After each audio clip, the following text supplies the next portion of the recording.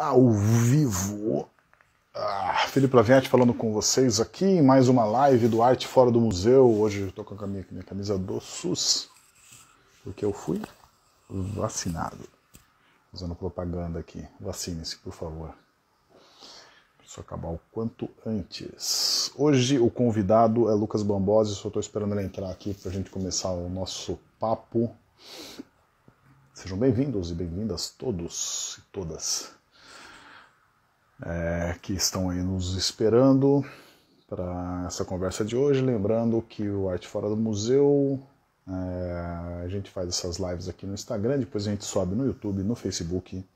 Você pode rever também no Instagram. A gente também sobe no podcast, que também é um, uma maneira boa de, de ouvir uma entrevista legal aí. Depois também a gente tem costumado subir na nossa coluna no UOL. Para quem não sabe, temos uma coluna no UOL. Arte Fora do Museu. A gente sempre, a gente sempre publica ali dois, três posts por, por semana, mais ou menos. Varia aí, depende da produtividade do mundo, né? Na verdade, assuntos que, que nos atraiam a atenção. É, só estou esperando o Lucas entrar para a gente começar aqui. Quem tiver dúvidas, me fale aqui, eu estou aqui para sanar as suas dúvidas também. Ai, ai, ai. O que mais, gente?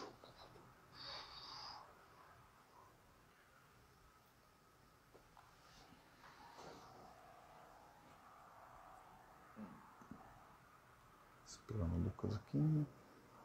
Para quem não sabe, a Arte Fora do Museu é existe desde 2011, né, quando a gente lançou um site, um aplicativo. De lá para cá a gente fez muita coisa, estamos fazendo cada vez mais. Nesse último ano, então, a gente fez coisas a valer.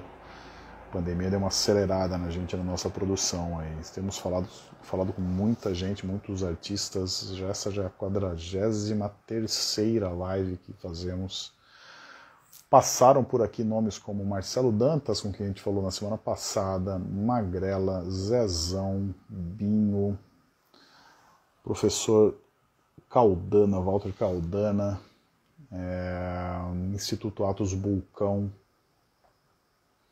é, o pessoal da 23 Sul, bastante gente, eu não vou lembrar todo mundo, mas eu convido todos aí para para verem no. Aqui no Instagram mesmo vocês conseguem ver no IGTV ali, mas no nosso site também está organizadinho, no YouTube também está tudo organizadinho, podcast também. Dá para rever todas aí, acho que é um bom, bom compêndio. Salve todo mundo que está entrando. Quem tiver dúvidas, mande aí para mim. E é isso, eu só estou esperando o Lucas entrar e a gente começa o nosso bate-papo se ele estava com um probleminha técnico ali, mas deixa eu só avisá-lo aqui que eu estou online. E aí a gente começa.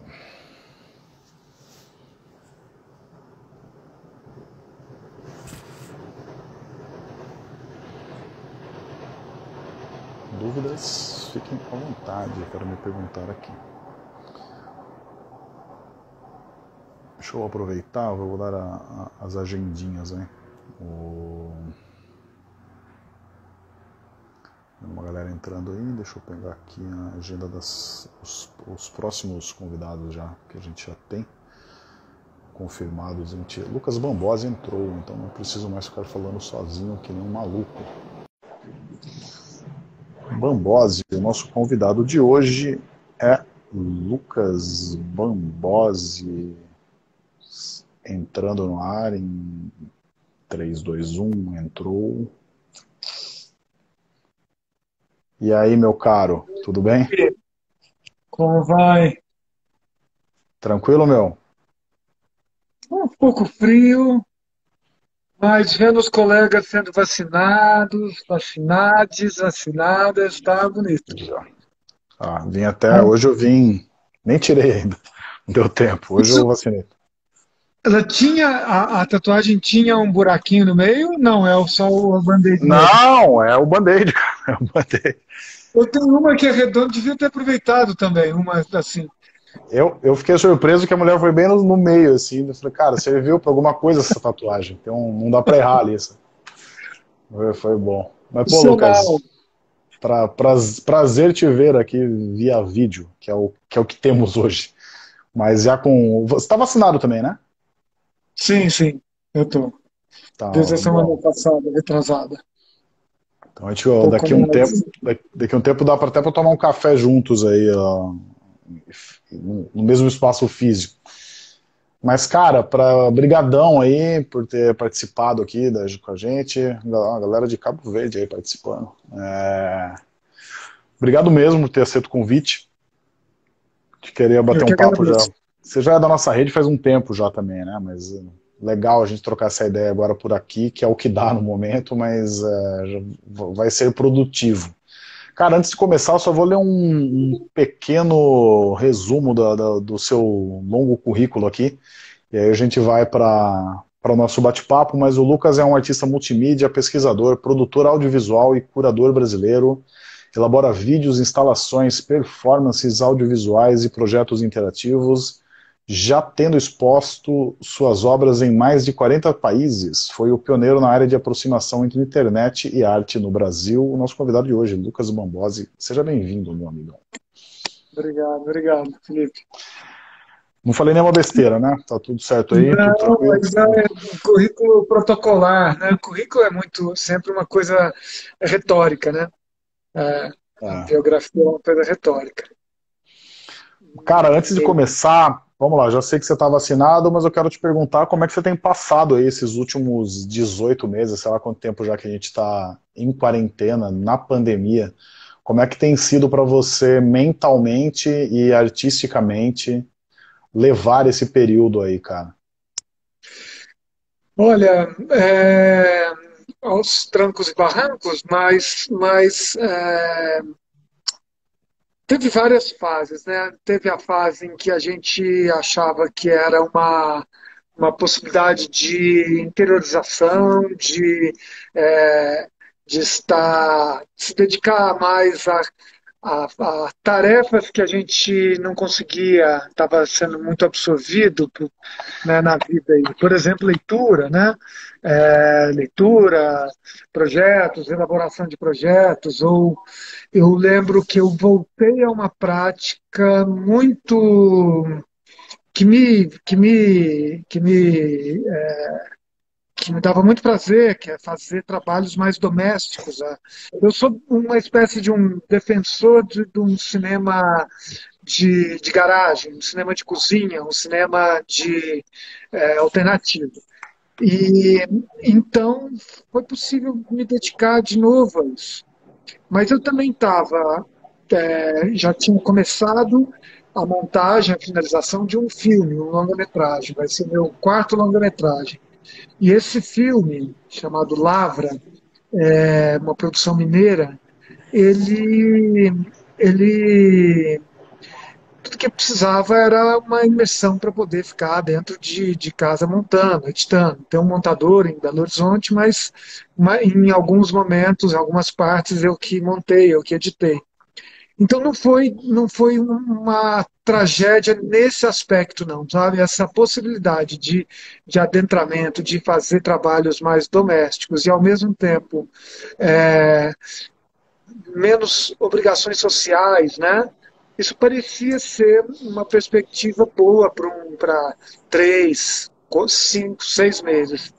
Aí vieram mortes, vieram é, essa, esse desgoverno que, que se mostra cada dia. A gente tem um vírus e tem um, uma, uma política em curso, um, um governo em curso que, que nos toma, nos demanda, nos, nos exige. Né?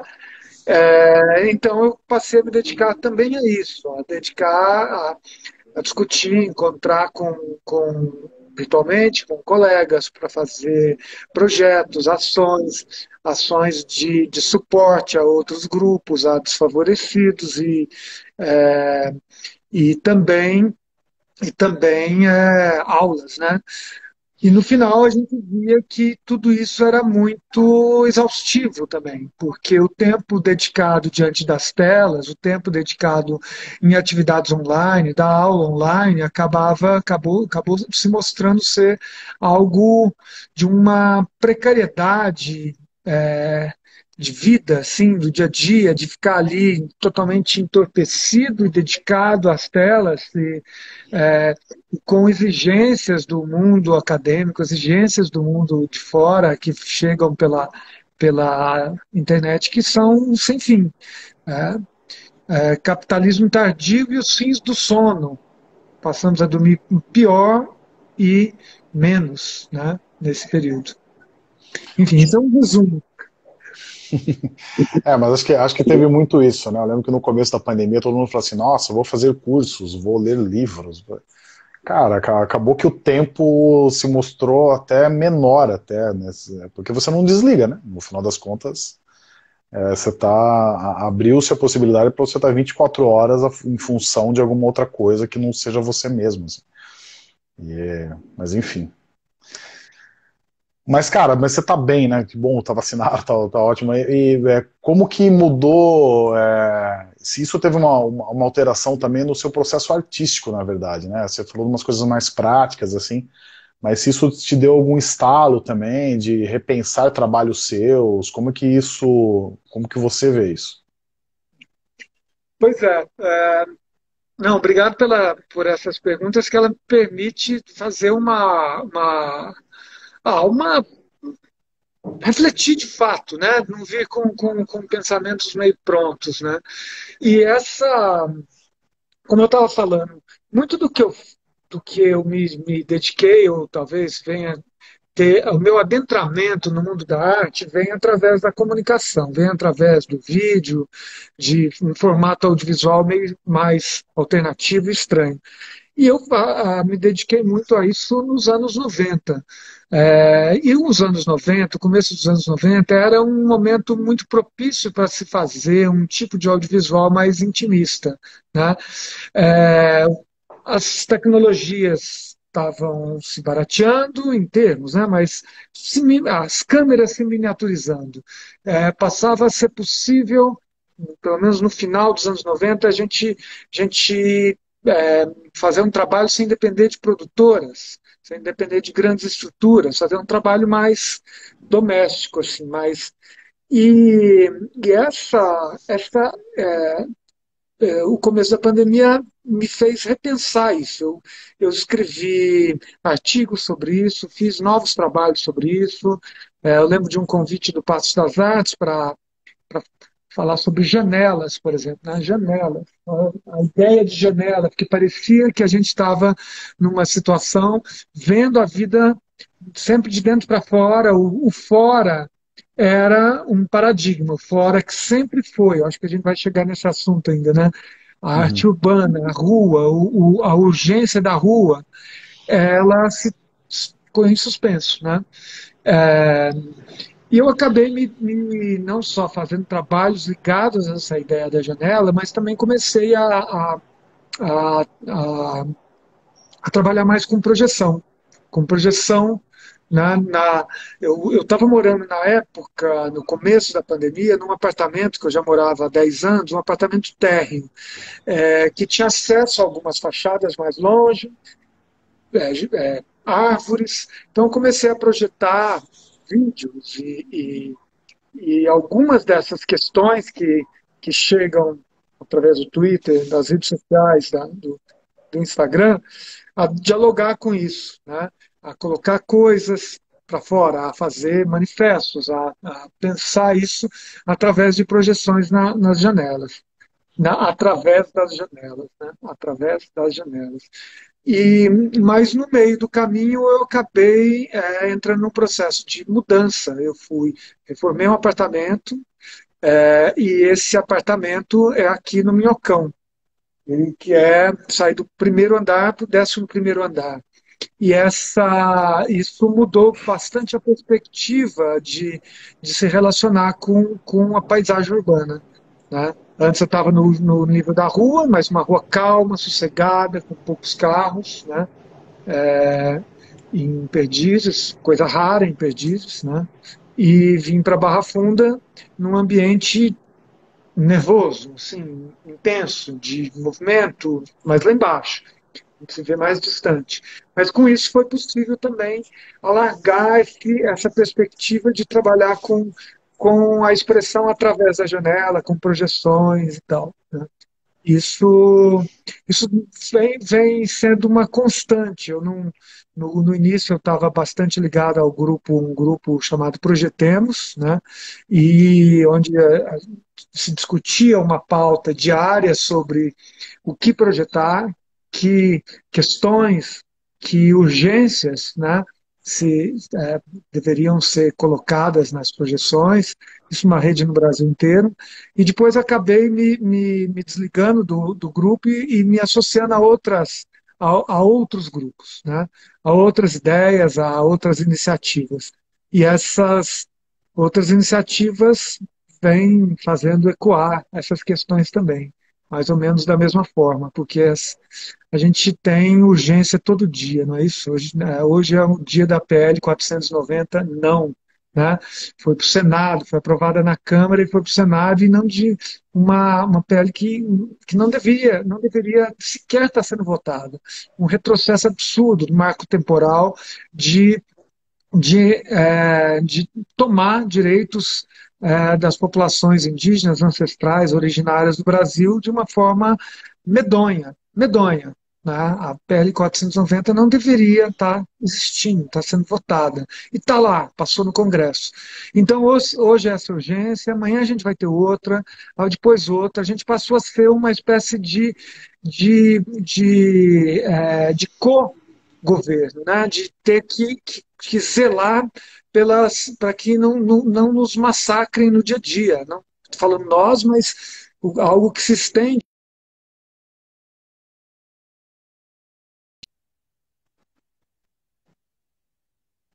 É, em Perdidos eu contava 5, 10 moradores de rua. Aqui debaixo tem 200, 300 né?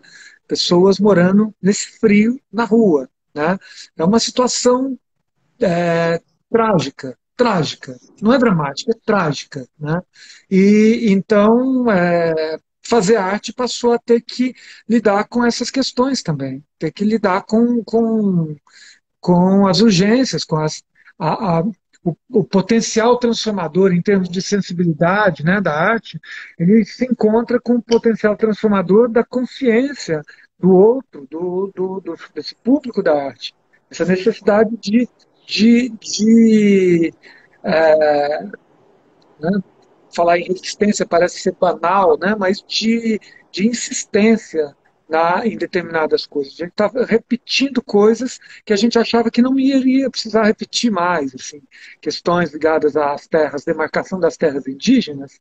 A essa altura a gente ter que falar sobre isso né, é, é, é bem absurdo.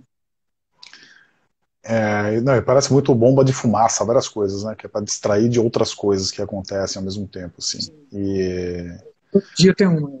É, o, mas eu queria te perguntar, cara, é, fazendo já essa conexão, né? Acho que o seu trabalho está muito ligado com a tecnologia e, é, enfim, num, num, em um mundo onde, na teoria, né, nós, nós temos que estar em quarentena, tal, dentro de casa é, acaba, acaba, que a tecnologia é, ele acaba amplificando muito mais um trabalho do que uma instalação sua em uma praça, por exemplo, que talvez só as pessoas que passassem por aquela praça teriam acesso. É, você falou do Projetemos, a gente falou com eles aqui faz um, sei lá, umas três, quatro semanas, e, e a gente é, falou bastante disso, né, do como que essas projeções em si já têm um alcance muito grande pelas pessoas que passam e veem a projeção num, numa empena, mas também tem o poder das redes, né? Como é, eu queria que você comentasse um pouco como que você vem trabalhando isso é, e como que você vê as redes também, né? Porque as redes têm esse, tem um lado bom aí que eu estou dando, mas tem um, ele, ele traz também um lado negativo muito grande. Né? É uma boa questão. Eu, eu é, bom, eu coordenei durante muitos anos um festival chamado é, Arte.move. O Arte.move, ele existiu de 2006 a 2012, mais ou menos. E o Arte.move, ele, ele era uma, é, isso, no início era uma, uma espécie de, de discussão ou de ver as possibilidades dessa multiplicação de telas. Né? Se há uma dificuldade em encontrar telas para o audiovisual, na medida em que passaram a existir 100 milhões de telas, 200 milhões de telas é, circulando e com um detalhe em rede, né, isso era uma, uma, uma possibilidade de, de expressão, de, de extensão né, de, uma, de uma expressão artística, de uma expressão audiovisual.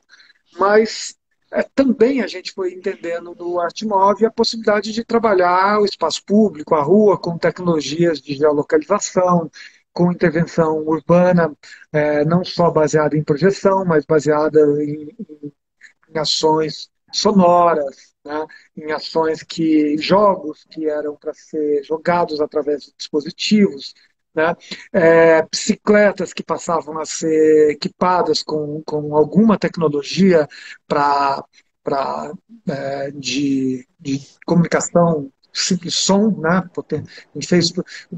Só um detalhe, o, o festival acontecia em, em, várias capitais, né? Então, por exemplo, em Belém, que é uma cidade muito plana, e que tem lá já uma tradição de, de, de, de anunciantes em bicicletas, né? a gente fez um concurso de otimização de bicicletas para utilizar tecnologias de bateria mais leve, mais, mais eficientes, é, menos danosas ao meio ambiente, para poder é, fazer intervenções de todo tipo. Então, fazer, por exemplo, um, um pequeno baile numa praça, fazer pequeno, projeções em árvore, uma projeção numa pequena numa fachada. É, então, isso viabilizava muita coisa, é, muitos projetos desse tipo, né, de, de intervenção, que tem uma, um aspecto tecnológico, mas não é a tecnologia que está em discussão. A tecnologia ela é um fator ali. A gente fazia, por exemplo, oficina de para ensinar as pessoas a fazerem um projetor com uma caixa de sapato e uma e um celular. É, para que isso se multiplicasse, para que isso se multiplicasse em comunidades. Né? É, a gente fazia, é, é comissionava projetos de, de leitura de, do som na cidade, de, do, do, ruído é, produzido na, na, cidade a partir de não só do som, mas o ruído é, em termos de campos eletromagnéticos, em termos de, de, de poluição eletrostática, de produção, é, poluição de, de, de campos é, reticianos, desse espaço reticiano que se forma com, com sinais né, que são é, que se a gente ficar exposto durante muito tempo, a gente sabe, hoje já sabe que a gente que são danosos.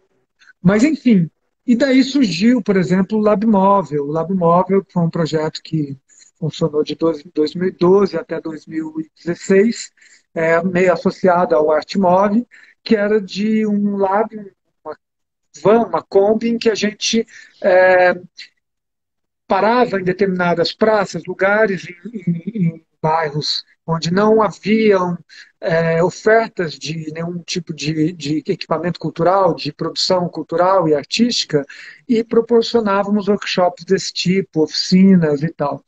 Então, esse tipo de produção não foi mais possível agora na pandemia, né? É, e que era uma, uma, uma ação, ações de, de estar na rua é, usando tecnologia. É, e, por isso que talvez tenha, tenha ganhado muita, muita, é, muita importância a projeção a partir da, das, das janelas, que o projetor está dentro de um espaço privado, de um espaço protegido, é, atuando num espaço público ou semipúblico, porque muitas vezes é uma fachada ali que é, que é privada também. Mas há essa, a projeção em si, essa negociação entre o público e o privado, é, algo que sai do espaço privado e vai de encontro ao público. Mas deixa eu tentar chegar lá nessa ideia de outras possibilidades que vinham surgindo, né? E que não, e que talvez é, é, seja, seja é, é, ainda coerente e pertinente falar delas. Porque o uso da, da tecnologia no, no, espaço público, ele vem através da comunicação. Né?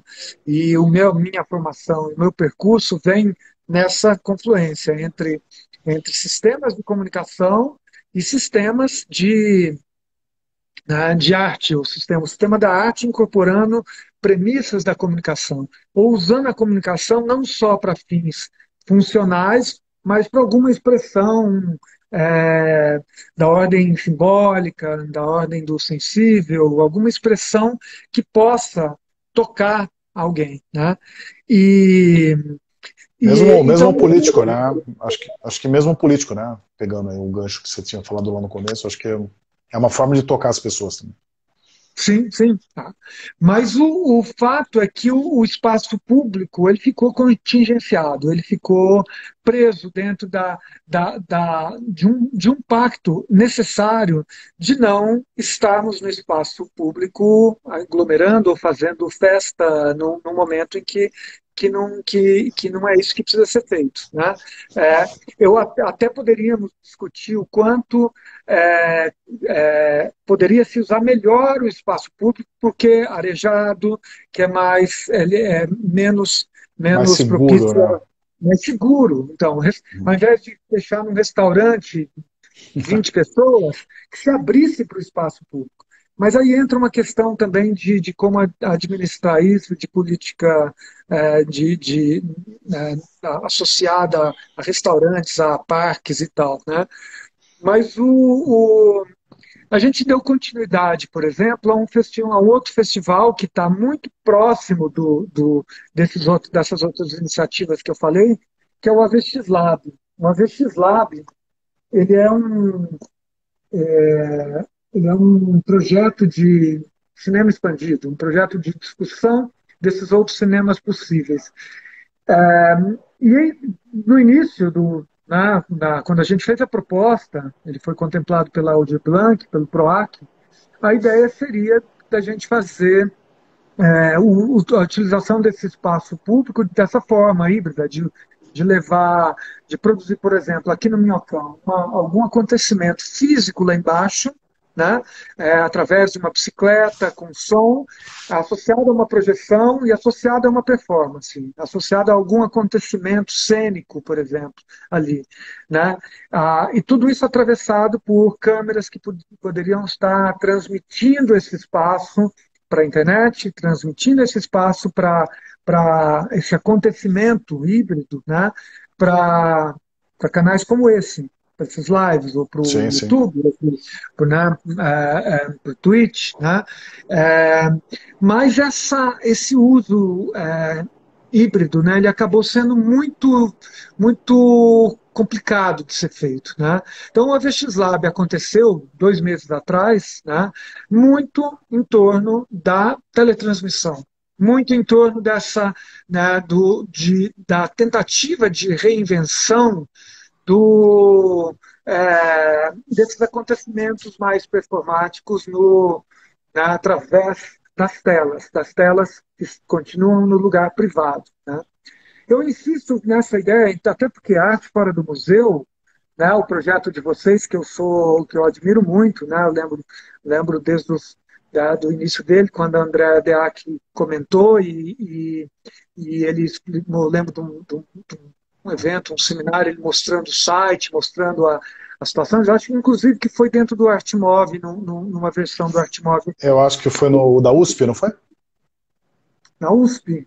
No, é, no Passo das Artes. Isso, é. No Passo das Artes, exatamente. Uma versão é. do Artmov dentro do Passo das Artes. É. E o, o é, essa ideia de, de uso do espaço é, público, do espaço urbano, ela foi sugada por um conceito de espaço público que é a internet. A internet, ela custou-se a entender o quanto a internet é um espaço público, o quanto ela é uma ágora, o quanto ela é uma praça, o quanto ela é esse espaço onde se tromba mesmo o outro, a, a, a, o, o, aquele que, você, é, que, é, que, é, que é uma espécie de, de sua. É, é, ela produz multidão, ela produz a, essa, esse encontro, mas ela produz também a dissonância. Se encontra o outro que tem uma opinião divergente da sua. Né? É, e isso a gente não conseguiu fazer do, dentro do AVX Lab exatamente por, por essa contingência, esse espaço público represado, em que não era conveniente utilizá-lo. Né? Não é que não fosse possível tecnicamente ou de uma forma segura, mas ele não foi possível ser, ser, ser utilizado para se produzir esse, essa, esse hibridismo, né? essa, essa, essa situação. E a gente acabou focando muito, e venho, estamos focando, faz, continuamos fazendo ações via VXLab ou via outros grupos que eu participo, o aparelhamento, a Reocupa, né? Que a gente tenta é, fazer acontecer através das redes. Lucas, deixa eu te perguntar, já pegando esse gancho do, da arte fora do museu, né, pegando o nosso gancho na verdade, é, a ideia nossa aqui é trocar uma ideia, arte em geral da sua produção. Inclusive, quem estiver vendo aí, quem quiser mandar pergunta, fica à vontade aí, o Lucas responderá na medida do, do possível. É, não, mas eu queria te perguntar, cara, é que é isso, o, o, falando em híbrido, né, o seu trabalho me parece também que ele ele ele, ele, ele, ele passa por várias mídias, né? Eu acho que ele está na internet, ele está no espaço físico, ele está no espaço físico fora do museu e dentro do museu também. Eu queria que você comentasse um pouco qual que, é, para você, como é que como é que você vê essa relação de um, de um trabalho seu dentro de uma galeria, dentro de uma exposição, e um trabalho seu em um, enfim, uma instalação na rua com contato com o, o público. Se você já pensa nisso antes, quem vai ser o público, público, né, entre aspas, final dessa obra, ou são adequações realmente que ele serviria um, um trabalho seu que exposto dentro de uma dentro de quatro paredes funcionaria também fora? Boa. Bom, eu, eu, eu, vou pegar como gancho algo que não, acho que num post que você colocou, eu repliquei hoje, do Arte Fora do Museu, é, eu repliquei uma frase, uma paráfrase dessa frase do grupo do grupo 3 Nós 3, né? que era o Rudinilson Júnior, o Rafael França e o Mário Ramiro. É, só segue em vivo o Mário Ramiro, grande amigo. Mas é, eles fizeram uma ação que é muito conhecida, falar mais para o público que está aqui com a gente, que é que eles demarcaram nas galerias, né, nos anos 70, nas galerias que existiam em São Paulo, um X e uma frase. O que está dentro fica, o que está fora se expande. Né? E eu coloquei hoje num post um pouco isso, arte fora do museu, estamos fora do museu e também fora da galeria. A minha atuação já há três anos, ela segue prioritariamente fora das galerias e dos espaços, dos espaços institucionais. Né? É, eu hoje é, faço parte de um coletivo que gerencia uma galeria, a Galeria Reocupa, que está dentro da ocupação 9 de julho. Né? É, é, somos muitos ali gerenciando, discutindo as possibilidades de uma galeria inclusiva, de uma galeria bastante expandida, mas que também trabalha dentro do, das premissas de uma, de uma galeria de, dentro, dialogando, tensionando o mercado da arte. Né? Mas o, o, a minha, quando eu comentei essa, essa ideia do o que está fora se expande, isso passou a ser uma convicção mesmo. Né? Dentro do grupo 3 Nós Três tinha o, o Rafael França, que era, vamos dizer, um, o videoartista é, dentre os três integrantes ali, e ele tinha esse pensamento muito, muito claro de que o artista devia ocupar os espaços públicos. E ele tinha o pensamento de que o artista de, deveria estar na televisão também, de que a televisão deveria ser é, tomada ou ser é, uma é, vista como uma estratégia para se inserir arte, para se discutir, para se debater, para se pensar a arte dentro da televisão, como veículo de massa, como um ambiente que tem essa, essa, esse potencial de, de, de reunir público. Né? Não era dialógica a televisão, hoje já é mais, hoje já é participativa, graças à internet, web 2.0 e tudo mais, mas o, o, os meus projetos vêm, é, sempre quando eu tenho uma ideia, eu venho pensando em como ela pode acontecer num ambiente físico e ter um braço nesse ambiente nesse ambiente virtual, nesse ambiente é, é, eletrônico digital. É, mas pensando que muitas vezes o que, o que tem é, é que não a, a internet como, como divulgação, mas pensar em adaptação mesmo, né? Como você mesmo sugeriu, assim, eu vim, vim é, passei a trabalhar no final dos anos 90 com esse conceito de net art, né? que era pensar a internet, é, ela pode pode se pensar algo com essas ferramentas que existem aqui, pode se pensar algo com o que é possível fazer dentro das limitações dela, né? E muitos de nós passamos a, a, a encarar isso dessa forma. Então, quando a gente faz hoje, por exemplo, um, um dos trabalhos que estava lá na Reucupa, na Galeria Reucupa, quando, quando fechou, né? fechou por conta da pandemia, em março de 2000. É, eu tinha uma projeção lá de moradores da ocupação, é, uma projeção uma, numa porta fechada por tijolos uma projeção de pequena escala, ou seja, o tamanho da porta, 80 centímetros por, por 2,10. Né? É, e essa projeção ela tinha uma simbologia ali, por estar sendo é, serem moradores da ocupação, dando boas-vindas ao público, né? convidando o público a se adentrar nessa, nessa parede fechada. Como se assim, a parede está fechada, mas mesmo assim eu eu te convido. Mesmo assim, há uma possibilidade de adentramento aqui. Né? É, eu, é, quando surgiu um projeto aqui que a gente fez dentro daqui do, desse, desse desse prédio onde eu moro, vou falar disso daqui a pouco, coletivo Barra Funda, né? É, surgiu, a gente começou a discutir. Eu ia, eu ia eu, desculpa te interromper, mas eu ia até te comentar isso aí. Você tá, você estava em Perdizes, vizinho do André, e eu moro, eu moro na Barra Funda, né? Agora você está vizinho meu aqui. é, mas continua a, a 800 metros de onde eu morava, né? Tá, continua mais tá, é, é, no começo do Minhocão ali, então, é isso? Isso, bem no começo. Tá. É, é, moro, final, moro... É. é, depende do, do, ponto de vista. Depende do ponto de vista. Mas o, o, é, o, que.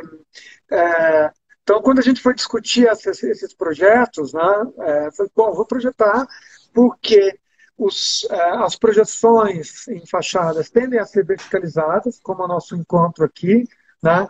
Eu não acredito que isso seja uma, uma tendência definitiva no, no audiovisual. É, é, eu acho que a gente está tá mais apto a, a, se, a se envolver com projeções né, horizontais, horizontalizadas. É, eu, eu, eu, já tive, eu já tive essa conversa com o André até, a gente tentando prever o futuro da, da, do audiovisual, mas eu acho muito difícil porque temos dois olhos assim, né, cara? Acho que é exato, muito... exato. É, é. Você perde muito, você perde muito do campo de visão se você trabalhar só nessa, nesse lado. Ah, e, e, então, mas eu, eu, eu fui buscar proje é, projetos, gravações, registros que eu tinha verticais e esse era um que se encaixou perfeitamente. Então ele sai de uma, uma escala de 2 metros e 10 de altura e vai aqui para frente para uma escala de 60 metros de altura né? ou até mais. Né? Então, é, é, e o que antes era uma, um indivíduo, uma pessoa é, ali dentro de uma ocupação, ela começa a ecoar dentro do espaço público ali de outra forma. É, são trabalhos que muitas vezes ganham uma, uma eles se ressignificam né, dentro da, da, da escala, a partir da escala, ou a partir da, da especificidade do ambiente. Eu acho que é isso que se trata. Eu nunca me interessei muito pela ideia do videomapping, mas me interessei mais pela ideia da, da especificidade é, desse encontro. Que parede é essa? Onde ela está localizada? O que é o histórico? O que, eu tenho no entorno dela? E o que, que vai acontecer quando essa imagem dessa natureza tem esse conteúdo, entre aspas, vai se encontrar com essa fachada. Como esse ambiente reverbera a partir disso, né? Esse é um interesse, é, um interesse muito grande ali dentro dessas adaptações de, né, ou de pensar a especificidade e pensar uma imagem que seja para essa, para esse, esse objeto, esse, esse seja uma fachada ou seja uma, uma um monumento, né, uma algo assim. E o, o, o que o que foi, o que foi muito é, pertinente foi que, que quando a gente reuniu, falando aqui do coletivo Barra Funda, né? O coletivo Barra Funda, é, nesse prédio onde eu moro, existem alguns colegas, amigos de longa data, colegas artistas que, que, se, que por acaso estão no mesmo prédio, né? É, posso é, está a Gabriela, Gabriela Grebe, cineasta, a, a Virginia de Medeiros, a Paula Garcia, o Cláudio Bueno, a Santa Rosa, o André Komatsu. Né?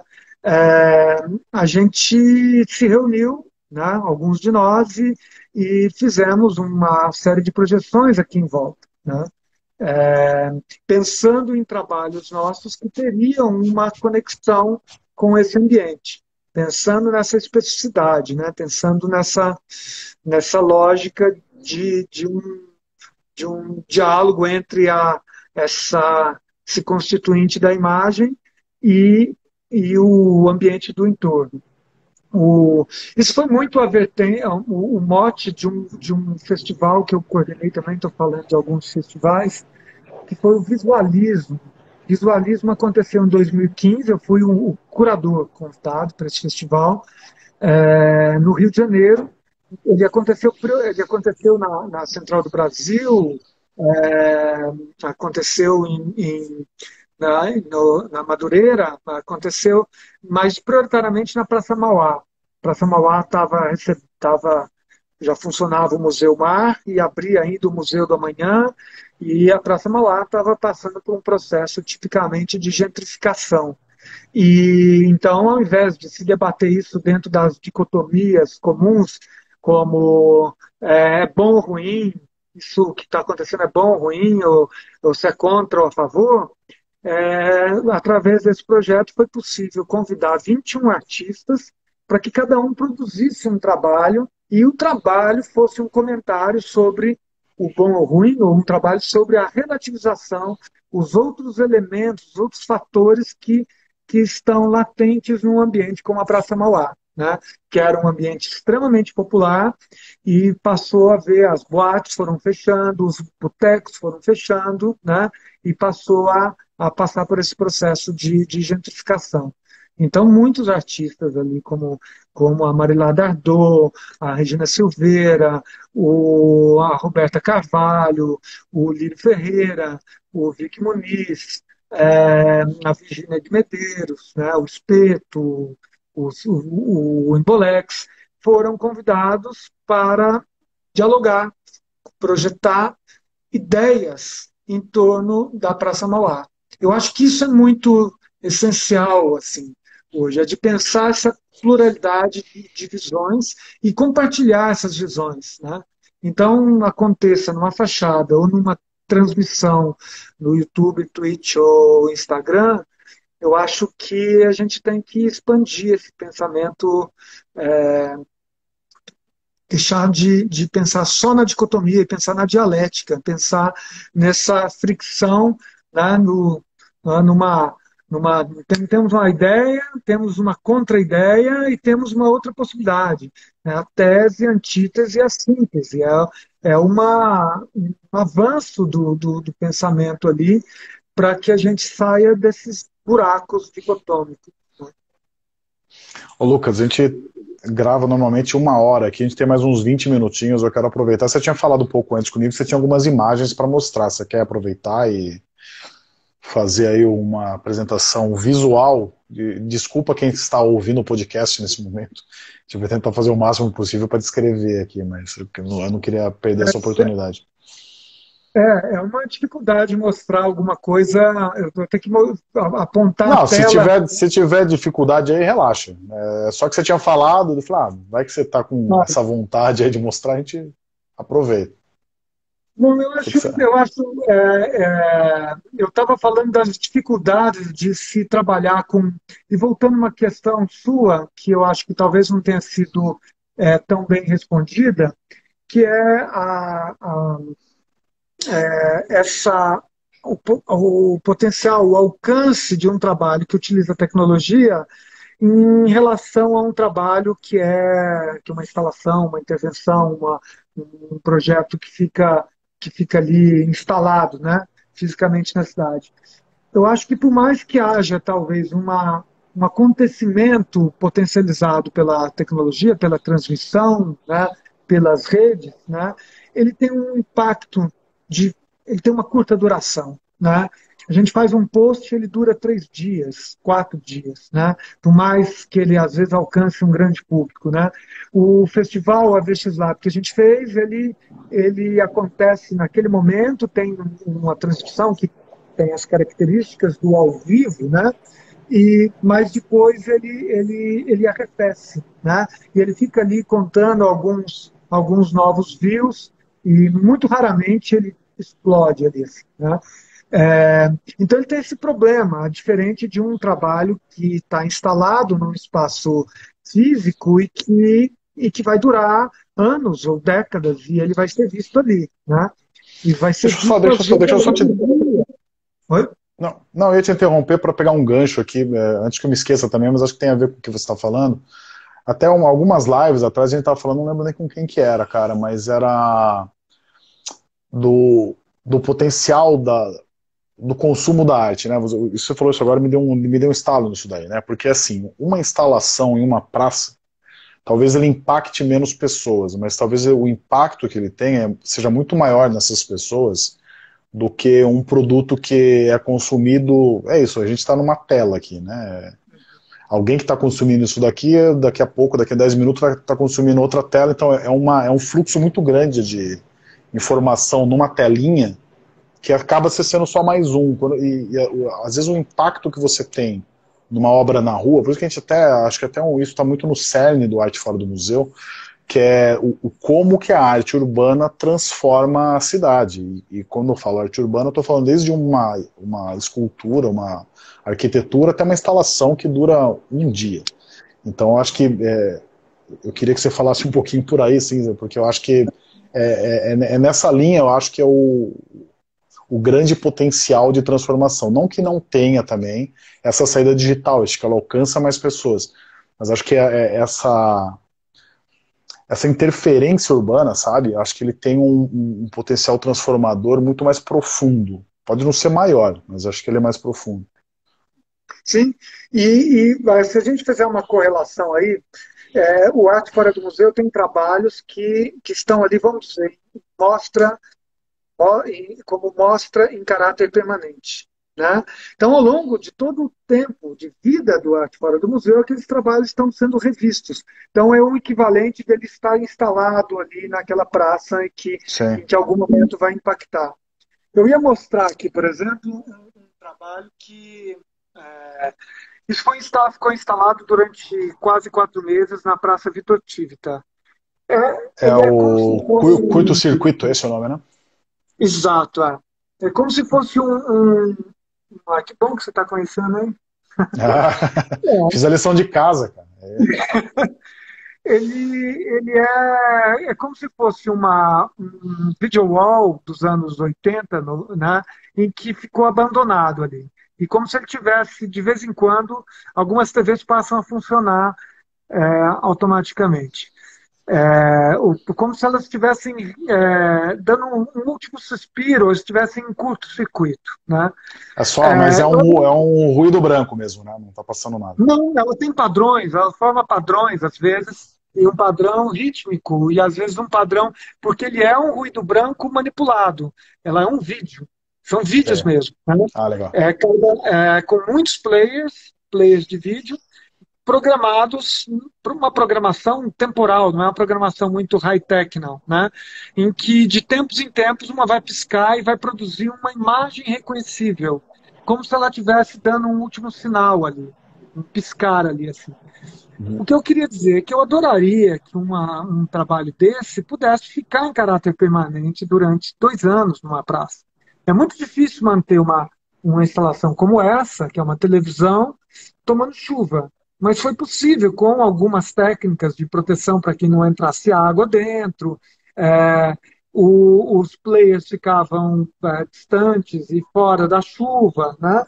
Mas era, era, era interessante pensar essa possibilidade assim de, de que eles de que elas pudessem estar é, uma instalação em caráter permanente, de, tipicamente ligada à comunicação, mas que é, é, podem ser, ser vistas durante um tempo maior. Né? É, como, por exemplo, essa aqui que foi pensada para o. Eu tenho uma série de projetos que chama Multidão. Né? Esse ficou no Sesc Pinheiros durante quatro meses também. É, Isso daí, é, eu não estou conseguindo ver direito. É uma projeção? É, uma projeção de uma multidão na fachada do Sesc Pinheiros. Legal. Tá? E essa fachada do Sesc Pinheiros, ela permitia uma, uma coisa dessa. Então, é, eu tenho alguns trabalhos que estão em coleções permanentes, como, por exemplo, o Centro Jorge Pompidou. E é incrível, porque tem pessoas que foram há 20 anos atrás, viram o trabalho e voltaram lá e o trabalho está lá. Né? Então esse é o papel de um museu assim, né, um papel interessante de, e que seria interessante pensar a extensão disso de um museu para o espaço público, que eu acho que é um pouco o que vocês fazem Sim. e que, por exemplo, a gente aqui no coletivo PF, se a gente conseguisse dar continuidade a, a intervenções aqui no entorno da Barra Funda, a gente teria durante um bom tempo é, de tempos em tempos, um, um, algum tipo de, de, de, projeto em andamento é, que discutisse o espaço público. Né? Eu vou mostrar alguns livros que falam de projetos assim. Esse aqui é um, é um livro sensacional, ele é disponível para download gratuitamente, da Brigida Campbell, é, Arte para uma Cidade Sensível é uma compilação de, de intervenções artísticas, algumas midiáticas, e, mas a maioria com estruturas físicas. Né? É, o midiático é sempre mais difícil de manter, é sempre mais difícil de, de se, se repetir, de fazer com que ele dure no tempo. Né? É, é, eu faço parte também de um grupo que faz essas fumaças as fumaças antifascistas.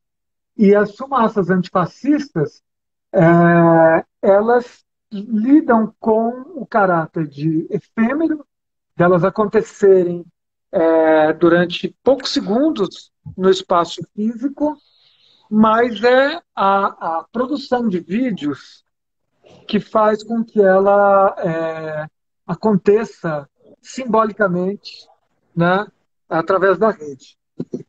Mas é isso, ela está usando a rede só como divulgação, ou como potencialização do ato ali. O que vai em ser o ato, aquele acontecimento ali que, né, que tem aquela potência de, de uma.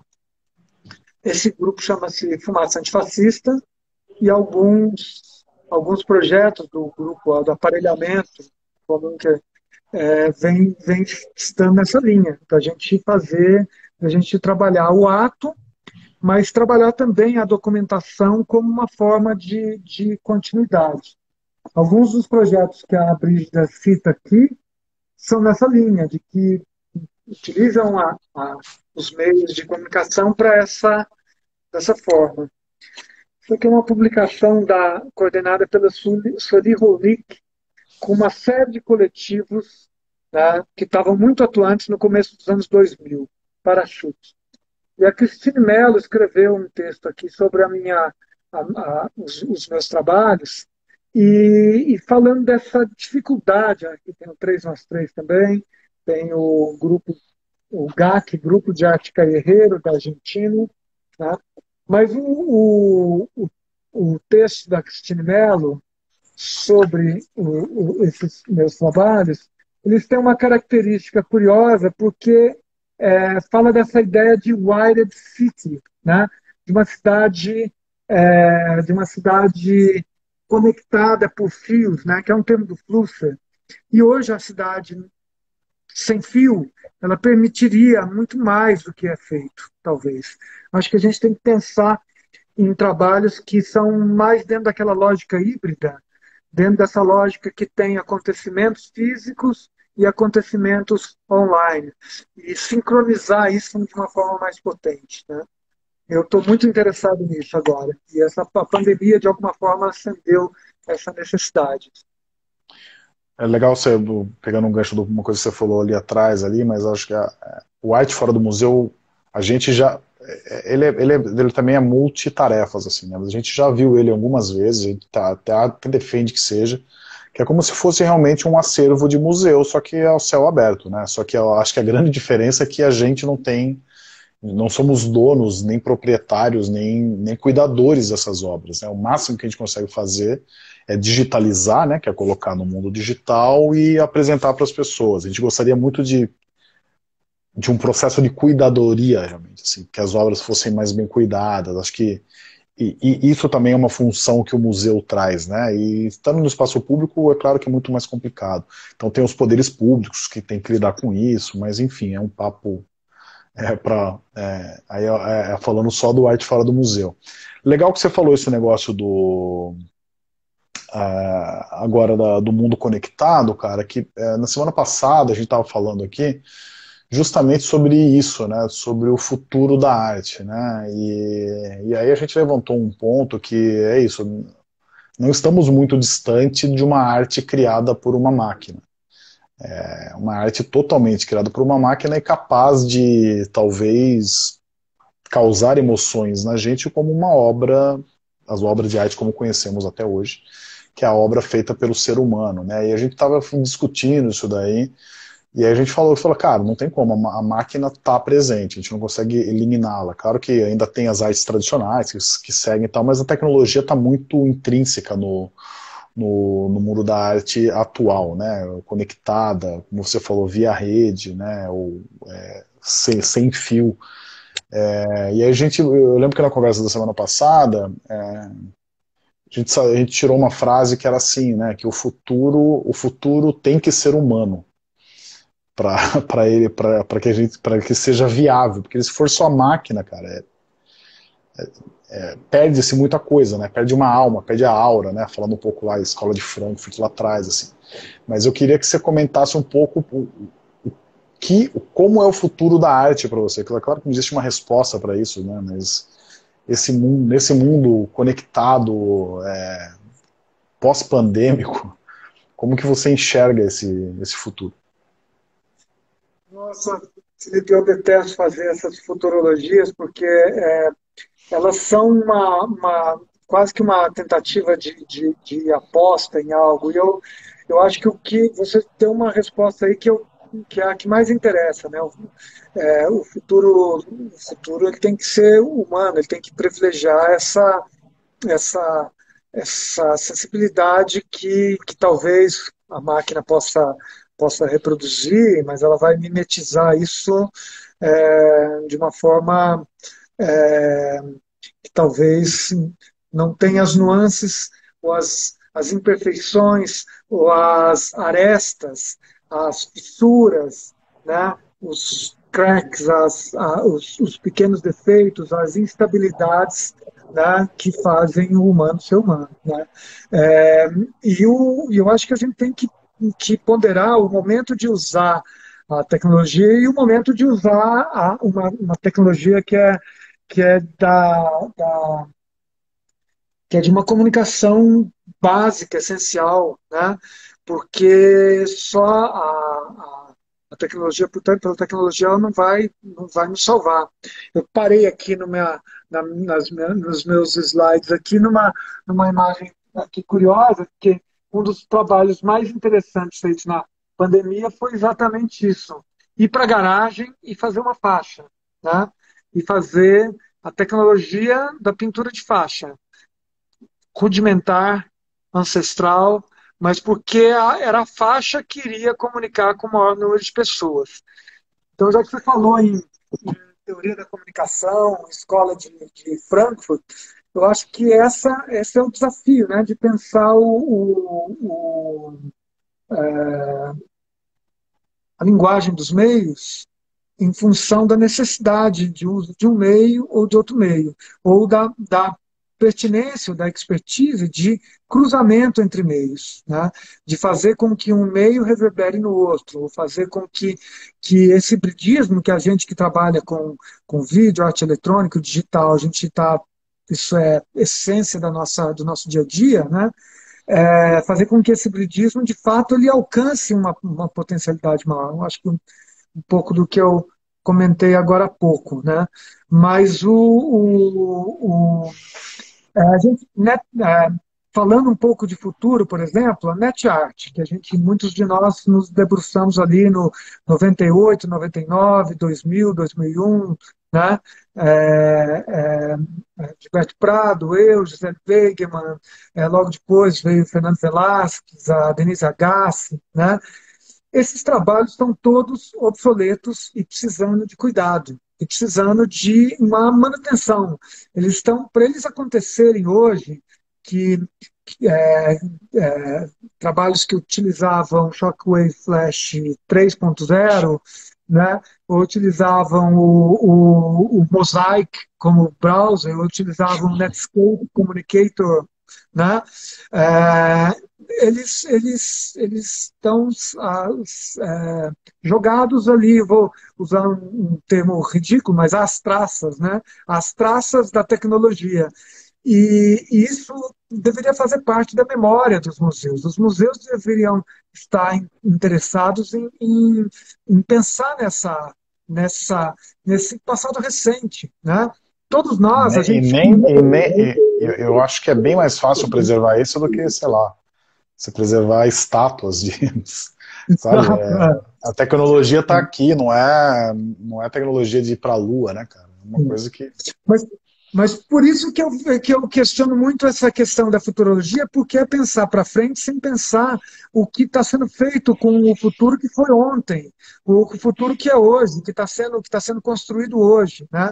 E essa ideia do, do, da NetArt, por exemplo, ela se, voltou a ser um, um debate interessante na, na pandemia, mas ele, ela, ela só, só na sua superfície, né? É, só para fechar a, a, a, o problema, um, do, um, dos paradigmas disso é que é, eu, por exemplo, eu pago domínios de trabalhos que estão, que eu tive que pagar o domínio, criar o domínio, por exemplo, utag.org, utag.net, né? É, Você tem que manter isso. Eu tenho que manter, eu pago todo ano isso. Eu estou pagando há 20 anos esses domínios para um dia isso talvez ser é recuperado, porque há alguns anos eles já não funcionam mais. Né? Isso é uma. É um, ao invés de falar, de fazer uma, uma, fazer uma aposta um pouco eufórica nesse futuro, eu tô, eu tô, eu tô um pouco é, nostálgico com, com esse futuro é, recente. Esse futuro que já é passado e que é desprezado como tal. Acho que eu fico muito com aquela ideia do Benjamin, do anjo, né, do anjo da história, quando ele fala do, do anjo do Paul Klee, né, que ele caminha de costas né, em direção ao futuro, em direção ao progresso e só vê ruínas. Né? Essa, essa imagem do anjo da história, do, do que o Walter Benjamin é, menciona, falando do, do Paul Klee, né, é, é um, ela é muito potente, até hoje ela nos serve. Assim. É um anjo que atravessa a história é, de costas, né? de costas para o futuro e olhando para o passado. E ele só vê ruína. Né? Então é um é trágico também. Cara, os papos, adoro papos filosóficos. Eu ficaria mais uns duas horas aqui com você, Lucas. Cara, é isso, a gente faz uma hora só. Eu vou terminar aqui, na verdade, com uma pergunta que eu tenho feito para todo mundo. Também filo, não, não é tão filosófica, é mais prática, né? Que é a seguinte, cara, nesse período inteiro aí de arte fora do museu, já são mais de 10 anos que a gente vem falando com vários artistas dos mais variados tipos e, e de currículos bem diferentes e experiências diferentes de anos, de décadas, alguns outros de poucos meses, e todo mundo tem alguma história de como que a arte, é, a arte que a pessoa faz transforma a vida de alguém. É, então, uma frase que eu, que eu sempre uso aqui é uma frase do Werner Herzog, né, que ele diz que a arte não muda a vida de ninguém até o momento que ela muda. E eu acho que com arte urbana, especificamente, a gente consegue ver isso de formas concretas, literal ou não, é, na, na cidade, né, de como uma intervenção muda a paisagem, mas não muda só a paisagem, muda todo, todo o entorno, como as pessoas lidam com aquilo. E você, enquanto artista, eu queria que você me, me falasse de alguma obra sua, não precisa nem ser no espaço público, mas se for até mais legal, mas que afetou a vida de alguém e você teve esse, esse retorno de alguém, sabe? De falar assim, puta, Lucas, aquele trabalho seu me fez ver o mundo de outra forma, sabe? É, se você tem algum relato, assim, talvez você tenha vários, né? Mas algum que te vem à mente agora de, de bate-pronto, assim. Não, é bate-pronto mesmo, hein, Felipe? Essa, essa pega porque ela presume, ela, ela envolve um, teor, aí, um nível de presunção, né? É, de que o que eu fiz afeta de fato o outro, né? E um pequeno relato disso já me seria muito, muito valioso, assim. É, mas para eu não para eu não ficar no campo da presunção de que me colocando nessa posição de um artista que que afeta os outros e que muda o curso, como os filmes do Herzog me afetam, né? É, e de fato é, muitos mudaram minha noção de cinema, minha noção, noção de documentário, né? Esse filme que eu estou fazendo agora, o Lavra, ele tem, eu busco muito uma visão herzogiana da forma, da estrutura como ele aborda as pessoas e, e a realidade, né? É, eu vou responder de outra forma, porque eu, eu acho que seria um pouco presunçoso de dizer, olha, aquele trabalho lá, o Love ah, Stories... Tô, deixa eu só, deixa eu, desculpa te interromper, mas eu vou, eu vou, com a Bianca, que ela falou que não é presunção não, que afeta sim. Então, fica, fica tranquilo. Bianca Turner. É, mas o, o, o essa... É, poderia achar assim que, que multidão, eu lembro quando eu apresentei a multidão no Vale do Anhangabaú, tem uma entrevista com uma pessoa que ele dizia assim, é, olha, eu nunca senti isso, porque a gente está ali junto, aí vê que o outro está junto com a gente, e, é, e a gente está sabendo que aquilo é para um vídeo, é uma gravação, mas a gente se empolga e, ou seja, é uma pessoa que talvez tivesse tido experiências é, assim, oceânicas, no termo que Freud usa no, no, no, na, no mal-estar na civilização, uma experiência oceânica, né, de transbordamento, né, que as pessoas têm num, num, num, culto religioso ou num grande show, né, mas que estarem ali fazendo parte de uma encenação de uma, de uma multidão mudou a vida dessa pessoa. Eu, eu lembrei, sim, essa pessoa que eu gravei um depoimento, ela estava é, de fato é, tocada por isso. Mas o que eu ia responder é que eu faço muitas curadorias, muitos projetos que eu insisto muito em continuar fazendo, porque eu muitas vezes penso que, que eu, é, em fazer projetos que eu gostaria que fizessem e me convidassem. E que eu sei que esses projetos deu oportunidade para muita gente de fazerem projetos que elas queriam fazer. Tá? Então, eu me orgulho muito disso, de ter feito algumas curadorias que podem até ser, eu poderia, com alguma presunção também, considerar algumas curadorias como projetos de arte. É, arte como curadoria, curadoria como arte. O artista curador, o curador como artista, que isso é uma confluência que eu acredito. Né?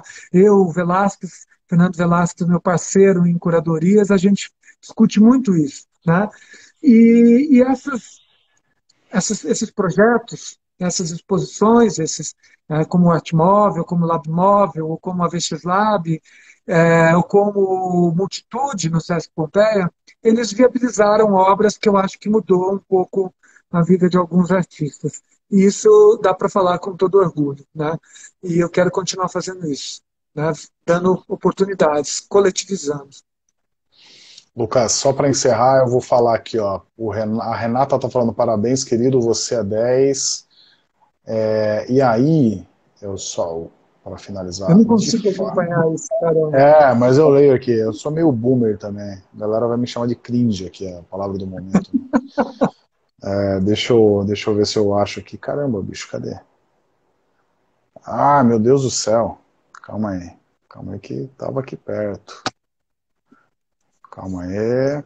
Que era para encerrar, só porque eu ia encerrar com uma frase. Deixa eu ver aqui. Caramba. Meu, eu juro que eu não tô achando. Não, é a frase que alguém escreveu aqui. É... A Bianca que escreveu, eu achei aqui, ó. A arte do Lucas é, inspira diversos outros artistas na mesma área, mudou minha vida também, e de muitos artistas tenho certeza. Lucas, com essa frase eu vou dizer que também é, me inspira, acho que o seu trabalho é muito legal, é, estou aberto para colaborações, viu? Se, quer dizer, se você estiver aberto para colaborações, eu sou o primeiro da fila aí, cara, eu sou desses artistas frustrados um pouco, faço coisas aqui, não mostro para ninguém e tal, mas adoraria participar de ideias tal. Como curadoria a gente faz algumas coisas, né? Isso que você falou de curadoria é muito legal também, que você acaba também mudando, né? Você esse olhar crítico para as coisas. O processo de escolha já é um processo artístico também. Mas, cara, brigadão pela participação. Agora que eu sei que você é meu vizinho, ótimo. Daqui a pouco, dando, dando alguns dias de imunização, a gente pode tomar um café aí pela região. Mas ah, mesmo, Lucas. Obrigado você, Felipe. A Arte Fora do Museu é genial. Longa vida a Arte Fora do Museu. É, Bianca, obrigado pela, pela, é, pela frase. Né? Não vou esquecer dela. E você me inspira também. Uma turma incrível aqui, João Aires, Leandro Lima entrando, é, vi Léo Sante, Lucas Guervila, Lorival Cuquinha, é incrível, uma turma bacana. Prazer. Grandes amigos, parceiros de tudo aí. Parceiro daqui também, meu amigo. Lucas, tamo junto, cara. Obrigadão mesmo. A gente vai se falando por aqui. Por aqui não. Obrigado. Por, no WhatsApp, um a gente troca. Valeu, cara. Tchau, tchau. Tchau.